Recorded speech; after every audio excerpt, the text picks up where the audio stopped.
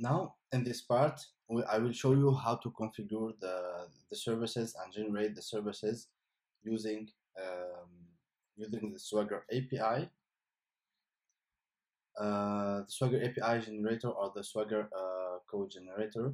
Uh, first thing to do is that we need to add this dependency in the dev dependencies, which is uh, ng swagger gen and the version you can choose the version uh, 1.7.0 and there are like uh, several commands to we need to add the main uh, the main one uh, the main one is uh, the to do API the one I showed you that we need to run to generate the application the, sorry to generate the services and the API so let's go through uh, each command of it. So first, first one is the to-do API create dist. So this one, this is like a simple command. It will create a directory under, uh, under the project. So this one, we have the command uh, make directory minus p uh, in tools slash swagger code gen slash dist. So it's gonna be here as we see here the tools yeah it's gonna be here and it will, will create this uh, those folders and we will create also the src file so inside this swagger code gen inside tools slash swagger code gen we will find two folders which are dist and src and those are and i will explain next what uh, what is inside. So this is the first the first one. The first command is where we will uh, create the folder and then we will run the download. What is the download in our case we will just copy uh, copy the resource files which are uh, the jar and the swagger file. So what we will do here it's the copy command from this is the absolute path of the jar file. And we will copy it to the tools slash swagger gen slash dist. And then we will copy the swagger.json file that we already generated from the backend to the tools slash swagger code gen slash src and next uh, we will run the to do api extract. That means we will extract uh, the api documentation and the definition of the models the um, the paths and all the services we, we already created on the backend we will extract them. So this is the, this is the command to do API extract so what we will do we will use the node command to generate the swagger code gen with this version 011 uh, 001 snapshot. And the last one is the to do API swagger gen generation that means generation. So what we will uh, what will we generate? So we get the swagger uh, the ng swagger generator from node module slash bin slash ng swagger gen minus e what do we want to generate we want to generate the api documentation from this file which we already copied in our uh, in our project and the output this is the input this one and the output is going to be in uh, uh, SRC, SRC uh, to do API slash SRC. So it's going to be here. It's to be to do API slash SRC. So here we will automatically generate the models, which are the category, user, and to, do. And the services will generate a bunch of services, which is every time we have the API annotation, it's going to be uh, a different uh, or an independent service. So for example, we have, this is the main one, and we have the API category service, API to do, and API users. And also we have for the authentication API. And then we have like a configuration and the model services and so on and so forth. So this is this is really quite easy to generate uh, the API documentation using the Swagger the Swagger code gen from the Angular side. So, and here, let's check together what was generated. For example, if I go to the user, this is exactly the same, uh, the same DTO, the same DTO or the same structure as we have it in the backend as the user DTO. And also we can see that it has also the same name. we have the ID, first name, last name, email, password, username, and password.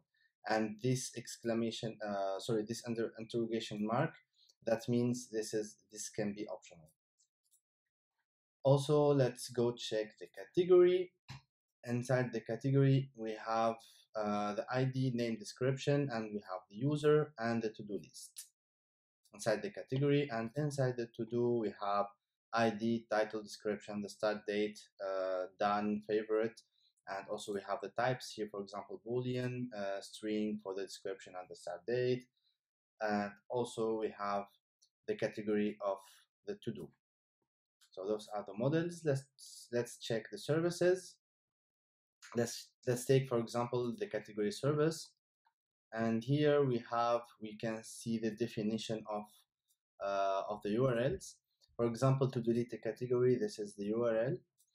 To get all to do by categories for today path, sorry, those are uh, the paths. Uh, for example, let's check the update category path, which is API category slash update, and so on and so forth. And here actually is generated in two ways. We have the method, this is, this is the main method that we, we will use, which is delete category. And we will, for example, we, will, we need to pass the ID as a parameter and it's gonna call the delete, uh, delete category response, which is this method. And to explain it better, let's take uh, another one. Let's take, for example, the update category. This uh, this method is responsible to update or to to save a new category. So here we accept as uh, as body uh, an object of category DTO type, and then what we will return we will return update category response, which is this method, and it takes the same parameter. And then we have the new parameter we add the header and here this is the request type. This is a patch or a post or a get for example delete also if if we want to delete something. And this is the root url when i go here to the root url so it's defined in the api configuration here and this root url is generated from the from the base path from the swagger uh, sorry from the um, yeah the maven uh, plugin uh, plugin and the pom.xml so let's go back here. Yeah. So this is the base url and this is the the path to update a category for example.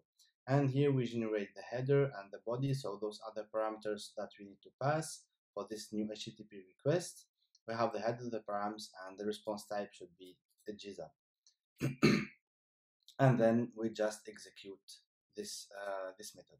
And the best thing uh, about this uh, this this generation as you can see here we don't we don't even we don't even need to to write any line of code for this it's automatically generated and everything is going to be for example when when uh, when you do an update in the backend part and regenerate the API, it's going to be automatically updated. So there is no need to write any uh, any line of code. And it's the same thing for the for the other APIs, for the to-dos and users, and also the authentication. For example, for the authentication API, we have only the login. This is the only method I created uh, for the authentication. And here we have this method called login user and it takes as a parameter the user DTO and as I explained it will call automatically the login user response and then we compose our request which is a post with this path and the parameters which is the body. So let's have a look on the API configuration. Here in the API configuration, for example, we, we configure the, the root URL and if you have further uh, information or configuration, it can be added here. And here this the API modules. So this one is, um, is automatically generated also. And here we say that we have those providers to use, which is API configuration, uh, service, API service, uh, API to do service, and so on and so forth.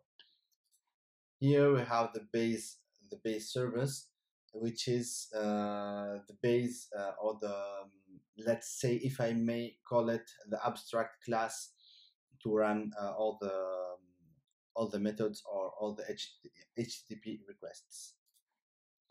Here we have the models. It's a simple class which will only export the, the DTO, the DTOs we have. So like this, when we import one DTO or when we use it, it's going to be automatically uh, exported and generated. So there is no need to, to write it. And also the same for the services.ts class. And this is also like the generic part of, uh, of the HTTP responses. So this is this is really quite easy and uh, I see it's like really recommended to to use the the Swagger code generation. So like this, we we gain a lot of time in the coding part. Uh, at least we don't we don't need to to code all those methods and all those um, API calls or HTTP calls manually. So I hope this part is also clear and also if you have any further questions, do not hesitate to, to contact me.